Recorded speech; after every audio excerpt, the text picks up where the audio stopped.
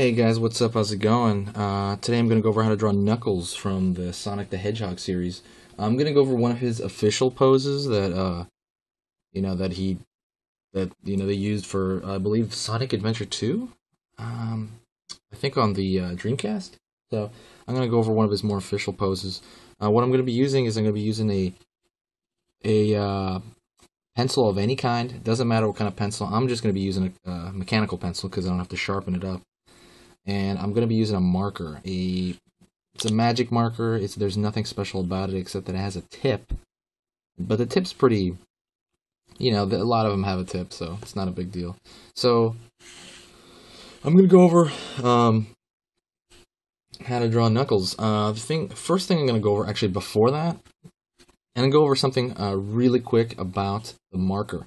And you can do this with any marker. So with usually, and this is just a broad rule, when you're doing a line art of any kind, you're going to be uh, using three lines. Usually you're going to be using a really, and, and they number them too. You can use a one, two, or three. Some guys like to number them. There's going to be a one, it's a really thin line. Thin, as thin as you can make it, just barely touching it, you know? That's as thin as you can make it. There's a two, a little more solid, a little bit thicker, like a microscopic, you know, a little bit thicker. And then there's three, you know, which is a little bit thicker than that. It's maybe twice as thick as that, you know, as you can tell. Um, I'm going to be kind of using that with this, you know, because uh, the reason I'm going to use it is because it's used so much in line art and from different schools. Uh, you know, I'm sure different people have different systems, but the, you know, one, two, and three. One is the lightest, three is the thickest. Um, I'm going to tell you around what they are when I use them. So um, reference those because I'm going to use them. All right, guys. So we're going to start with a pencil first with Knuckles. And when you draw Knuckles, um, you gotta you gotta understand what he's made up of first to actually draw him in any pose you want. Essentially, um, Knuckles' head is kind of a rectangular box. He's got that little giant dreads too hanging out. And the reason I'm using the pencil first is this is just to lay in the placement, you know? So you don't just go right into the marker and you make a mistake and you can't erase it no more. This is to kind of prevent that and uh, give you kind of a cheat sheet underneath. It's like having a an underdrawing. It's an undersketch, really. That's what it really is. So you should barely be able to see this because we're going to erase it I uh, hope you can kind of see what I'm doing right here. So I'm doing a rectangle for his head. Kind of a weird box, smaller on one end. He's got that kind of a big skull in the back. I'm going to be using a little circle, like an egg, for his um, torso area. Kind of tubes for his arms. It's going to have one of the poses. His hands are giant.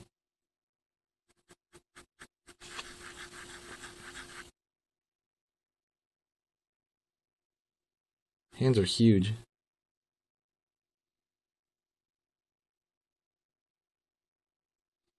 And uh,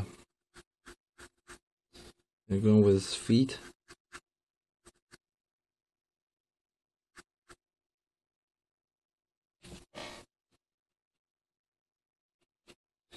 Yeah, going with his feet. Uh, sorry about that. He looks like a tube-like legs. And his feet are also gigantic for his proportions. I'm just going to put boxes for his feet. I'm also going to take into account the perspective a little bit. You know, you're going to be looking down on his feet because his feet are below him. And they're also going to be behind his hand over here. So you got to take that into account. So his hands, I'm just drawing two circles, circle boxes for his feet. And this this is all just ballpark measuring, you know. This this doesn't have to be exact, you know. So it's just to get an idea of uh, placement, you know, so it's not way off. So now we're going to go in a little bit deeper with this pencil, and I want to draw where his eye is going to be. I'm going to draw kind of a, he's going to have an angle, but I'm going to draw a circle there for his eye area. His eyes are pretty huge too. And then I'm going to draw his, uh, you know, kind of a kidna, kidna snout he's got. His eye actually should be a little shorter. So this is kind of the structure I use for for different characters like this, and especially in the Sonic world. Um, you know, they they got over exaggerated, you know, head, hands, and feet, uh, relatively small body, and tube like appendages. Um, so that's pretty much it. When the thing is, when you learn that, when you do that, you're gonna learn to draw. You can draw them in more poses. Uh, you know, it's not just you're not just emulating the drawing without knowing what they did to create the drawing. You're trying to think from the inside out. You know, you're trying to backwards engineer it. Um, okay, so now we're gonna go with a marker. So now we have our general placement. Going with a marker. Uh, first place I'm gonna go into is the eye. I'm gonna be using a two actually. Um, say that. They making that mad look like they all do. They all got that furrowed kind of look, except for like tails or something. But uh, actually, I don't think Amy has that look either. All right, but Knuckles definitely is always pissed off, and uh, top of his eyelid there. It's a thinner line, maybe like a one. It's a really thin line on the bottom here. Uh, I guess because there's less shadow upon it. I mean, I'm not drawing any shadow. But, uh, sometimes the line is meant to emulate the, the kind of like lower and upper. So I'm gonna be drawing really thin line. I draw one as well over here. Let's see.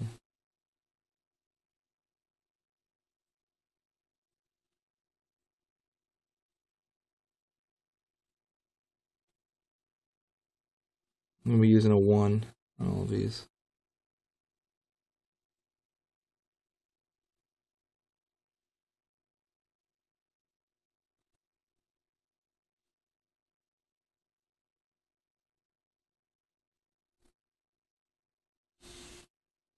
Uh, going back to his eyes. I'm going to use a 2 again. By 2, I mean the thickness of the line that I use. And, you know, it's really hard to tell a difference, honestly, but it does uh, ultimately make a difference in the end.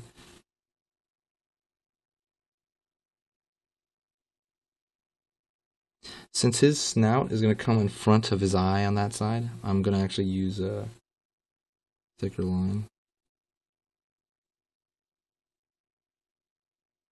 And remember, these lines, um,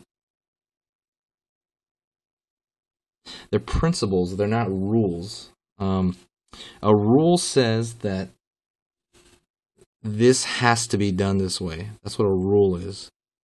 What a principle says is that this uh, works, and this has worked when we've tried it uh, through given time. So, doesn't you know? I mean, there's many different ways to do drawing. So this is just a principle that I've used and a lot of guys have used.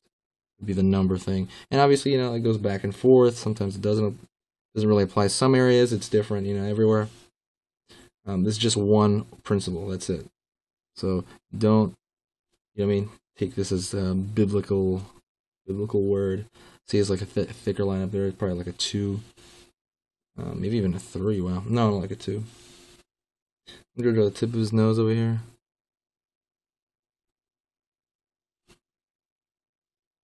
That looks like a paintbrush tip. I'm gonna fill that in. I'm gonna pull this long stroke over here. Gotta be really careful. I'm gonna make it a one. It's actually closer to. A, it looks like it's between a one and a two, actually. Um, let's see what else chest. He's got kind of a jutted out chest.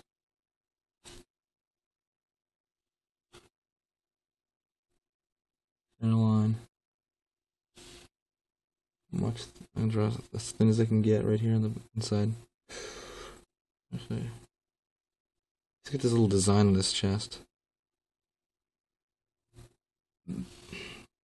So one of his uh, dreads or spikes is coming uh, in front of his arm, so I'm going to draw that.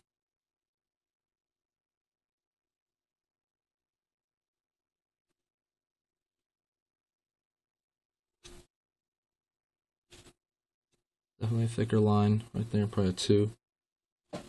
I'm gonna, wow, this is gonna be really hard. I gotta draw this shape, uh, I gotta draw his skull in kind of one stroke if I can help it.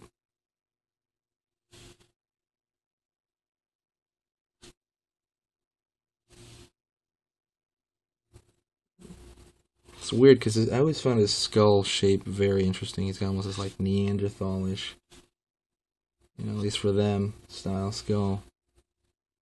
I have to remember what's coming in front of what.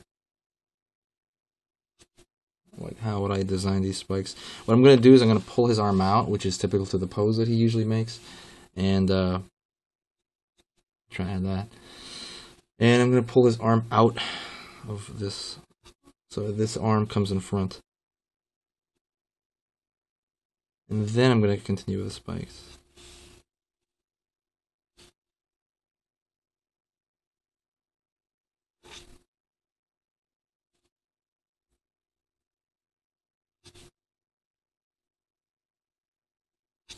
Not really going to use any three, honestly. It's usually like two and one.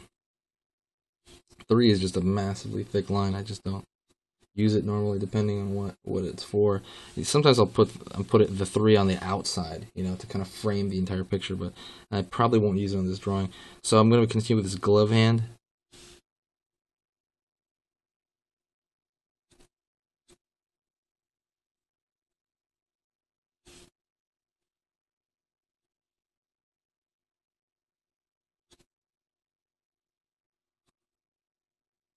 gotta remember that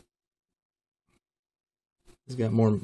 His hands are a lot more mitteny because his uh, his actual digits, not his not his opposing thumb, but his uh, you know digits there, they're all connected into one. It's got this kind of boxing glove of a hand.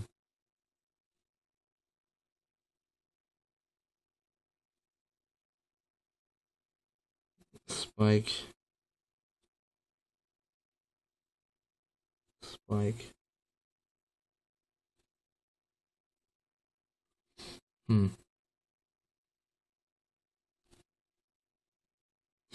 All right. Make sure that reads as a spike somehow. The thinner lines there. Now I'm going to draw his leg coming up. Gotta make room for his tail, gotta remember that.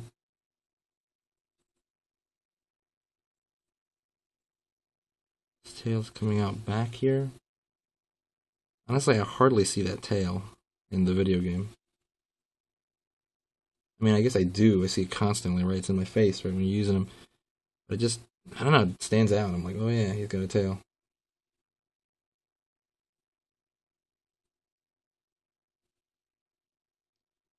arm on this side. To compensate by making it a little bit bigger. I made it a little small.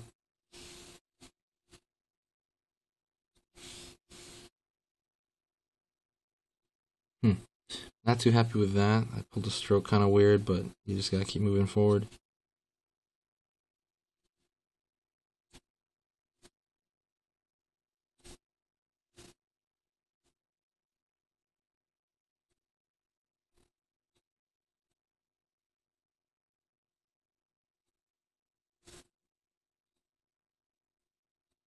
One's in profile. See, I'm trying to draw one spike in front of the other because it's, its hands facing a different direction. I'm going to draw his hair coming around down there as well. Kind of gives it a cooler look. To make it seem like it's carrying through. So now I'm going to go to his feet. His uh, feet there cut them off here where his shoe's going to start. A little off placement from where I drew my lines, but that is common.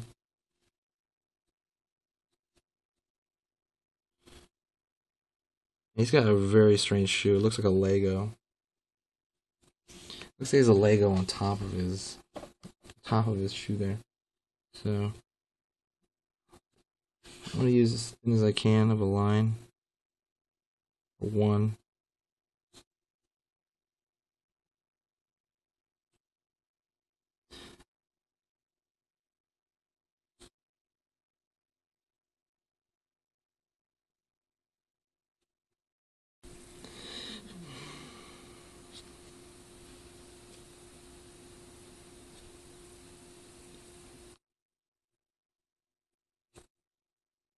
wrap his foot around.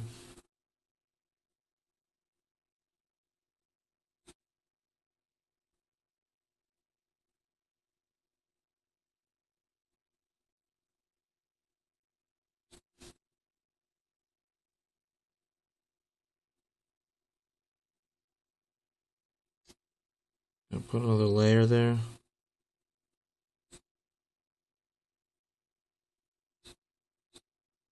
The design of the shoe. I'm going to move on to the other shoe. I think I made his shoe a little too big. Even for him. But uh, I'm going to have to roll with that.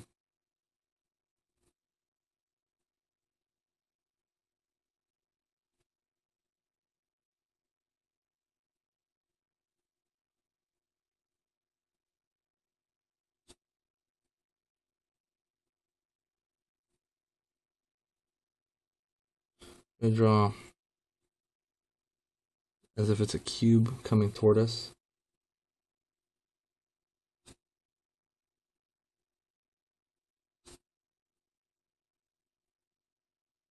You gotta think of it as if the shoe's coming toward us.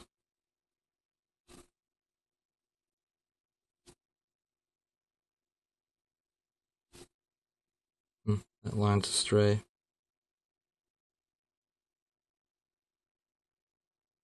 His shoes are the hardest thing about him, actually.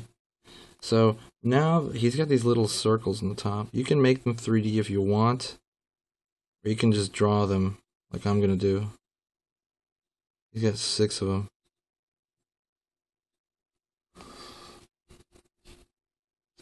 And you got to go back and kind of refine them a little bit. Look for stuff you may have missed. Do like another pass through. You're like, okay. This spike can go over here. You know, what line? Maybe some lines right here should be a little thicker.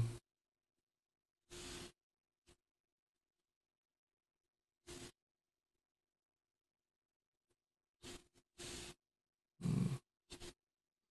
Like that, a little thicker.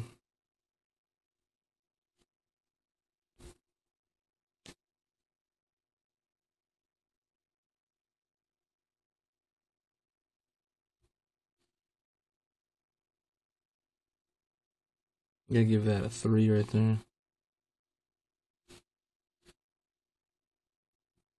Just want it to separate from the background it's, in.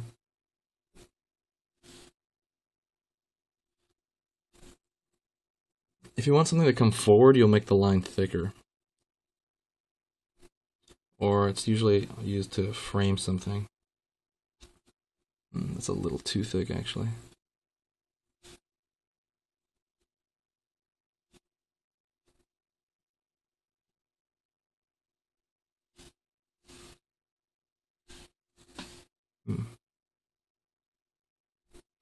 All right, and uh, I was just kind of fixing up lines there, but that's about it for Knuckles. Um, you know, a little eh, mediocre, but it's decent, uh, decent enough.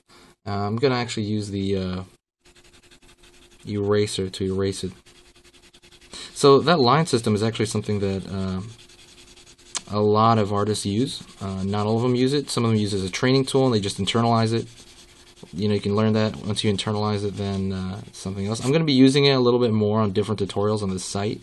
So uh, you know if you have any questions ask but uh, i'm going to be using that much more. So alright guys that's about it. That's knuckles and uh, please subscribe to this channel. Uh, maybe share this on facebook. Uh, i'd love to get more subscribers so i can do a lot more. Thanks a lot guys